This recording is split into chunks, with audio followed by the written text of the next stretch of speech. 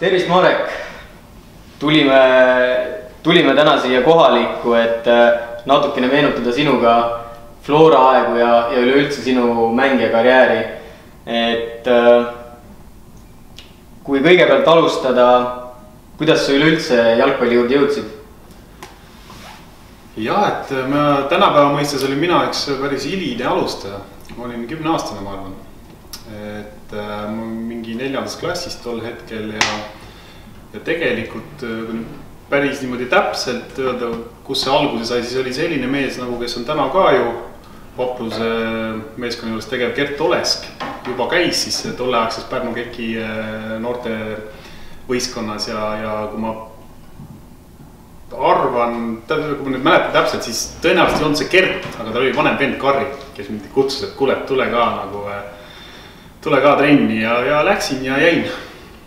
esimene treener oli sul? esimesed kaks treenerit oli mul, üks on siis praeguse Pärnu peatreener Marko Leelovi isa, Peeter Leelov ja, ja teine treener oli mul Peeter Lapp. pärast Pärnu meeskondade perioodi liitusid üheksakümmend kaks Floraga. et kuidas see link tekkis, et, et sa Florasse jõudsid omadega, et oli huvi mõlemapoolne või, või tuli klubi sinu poole?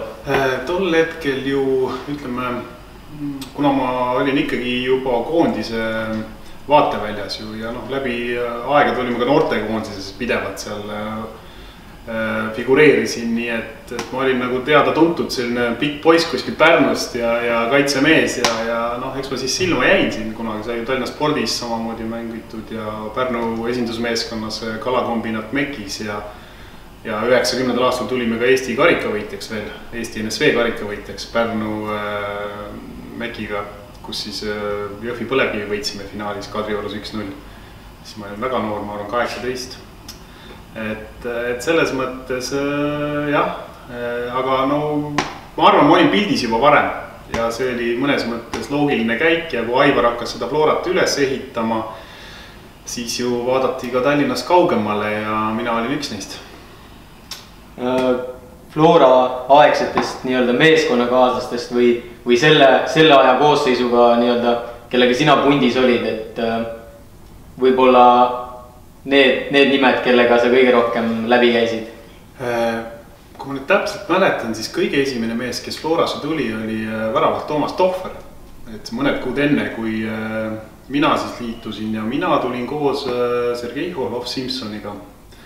ja, ja tol hetkel mängis ka Sergei Ratnikov ja Jaanus Veensalu mängisid veel Floras seal algusaegadel, nii et pärnakatega saime loomulikult äh, väga hästi läbi, aga hiljem elasime koos äh, mulkidega, Viktor Alaneni ja Urmas Kirsiga. ja noh, Tallinna poistega nii väga läbi ei käinud, aga no trennis me saime hästi läbi igal juhul. kui äh, Flora nii-öelda suureks muutuseks läbi ajaloo on kindlasti olnud Teituri peatreeneriks tulemine, et, et kuidas see sind mõjutas? No see mõjutas ikka päris kõvasti, et äh, meil oli ju alguses äh, treener oli Roman Nubakivi, siis oli Leedu treener Kotovas, Aivar oli ise treener mingil hetkel. Äh, ja siis üheksakümne viienda lõpus, kui ma siis täpselt mäletan, tuli siis Teitur Tordasson ja no need olid tollel hetkel ikka väga, väga, väga suured uued tuuled, et noh arvestades, et me ju tol, ta tuli talvel ja mis, mis olukord meil siis treene, treenimis või mis võimalus meil tol hetkel oli, no välisplatsi praktiliselt ei olnudki, et äh, olid mingid kruusaplatsid äh, kuskil tipi juures. Seal tegime trenni või mängisime siukse pool lume peal, nii et kunstmuru ju praktiliselt ei olnud ja ja mängisime sees, tegime palju trenni, nii et äh, aga kui kevad, kevad saabus ja platsid juba hakkasid enam-vähem korda saama, siis sai ikka kõvasti seda. ja me olime loomulikult ju Küprosel. ma ei tohi seda unustada nüüd et seal ju saadi, see hooaja ettevalmistus käis seal ja seal sai ikka kõvasti ja korralikult trenni tehtud ja ja sai drilli tehtud ja ütleme, kõige suurem muutus, mis Teituriga tuli, oli loomulikult selline professionaalne suhtumine ja taktika muutus, et just nimelt mina kaitsemehena tunnetasin siis seda, et kui eelnevalt me mängisime praktiliselt kogu aeg siis äh, stopperiga varianti, ehk siis ei, ei mänginud liisi, liinikaitset, siis äh, Teituriga me õppisime liinikaitse peale üle. ja sellest on mul väga palju kasu olnud hiljem karjääris. Sellest äh, kasust nii-öelda rääkides, siis äh, üheksakümmend kuus, üheksakümmend seitse olid ka Florast äh, laenul Mainzi ridades, et, et Saksamaal. kui, kui suur vahe see tollel hetkel oli sinna Saksamaale minna?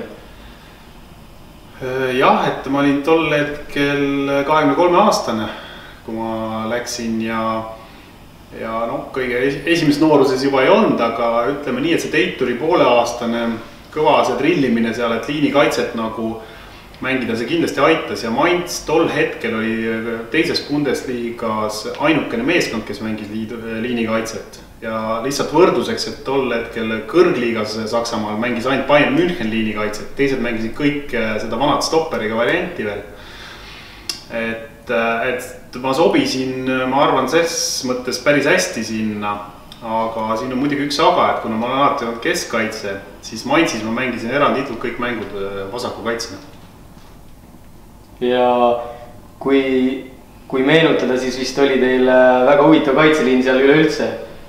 jah, et äh, arvestades, et mina Mainzis mängisin ainult nagu vasakut kaitset, siis äh, kui praegu järele mõelda, siis äh, et selle pikkus on äh, väga erakordne, kui keskmist võtta, et mina olin meeter üheksakümmend kaks, siis keskkaitse Peeter Neustädter oli circa meeter kaheksakümmend üheksa, üks Jugoslaavia mees Miroslav Tanja oli meeter üheksakümmend neli ja paremkaitsjana Jürgen Klopp ideaalis meeter üheksakümmend kolm, nii et äh, sihuke keskmine meeter üheksakümmend kaks umbes täpselt, et ei ole paha.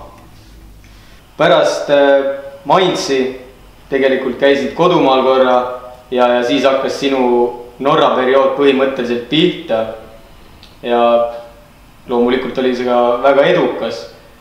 kui nüüd mõelda, mida läheb keskkaitsel vaja, et, et Skandinaavias läbi lüüa?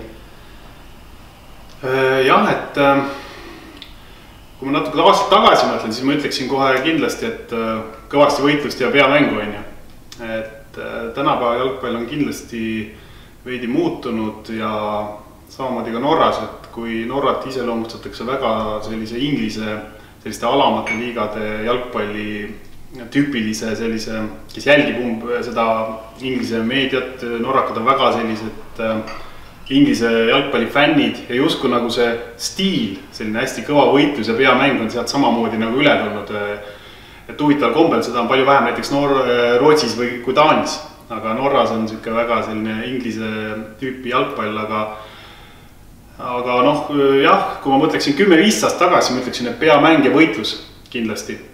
aga mida aeg edasi, isegi minu ajal juba hakkas äh, väga tähtsaks muutuma äh, just nimelt äh, mäng palliga ehk siis jalaga. ja kui vanasti oli selline loogika, et keskkaitsjad ei pea nagu üldse jalaga palli mängima peaga siis jah, jah, peaga ja võidelda, et siis, ähm, siis see muutus järjest tähtsamaks, aga muidugi no nagu kõik teavad, siis keskkaitse kõige tähtsam omadus, omadus üleüldse on kohavalik.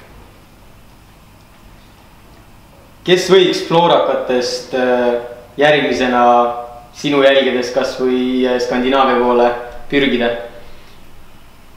jah, Skandinaavia, ma arvan, et täna Eestist välja minevale keskkaitsele võiks selliseks prooviks päris hea variant olla, et äh, et ta peaks meile nagu stiililiselt sobima ja, ja ütleme, täna ei ole ju äh, Skandinaavia jalgpall enam ainult nagu sihuke võitlus ja peamäng, et pigem nagu tahetakse jalaga mängimist ka ja. ja noh, oma, kui ma vaatan nagu oma tüübilt, kes võib-olla kõige rohkem läheneb sellele, kes võiks nagu väljapoole ka minna, on ju, loomulikult Madis Vihman ja ta on, tal on nagu aega ka veel nagu selles mõttes, et ta ei ole nüüd kõige, kõige noorem nüüd enam, aga ei ole ka vana, et et tal on kindlasti võimalus olemas, et aga no selge on see, et vaja on veel palju juurde panna. hetkel Premium-liiga on nüüd enda alguse sellel aastal juba teinud. oskad sa öelda vähemalt enda silmis, kes on liiga parim kaitsemängija?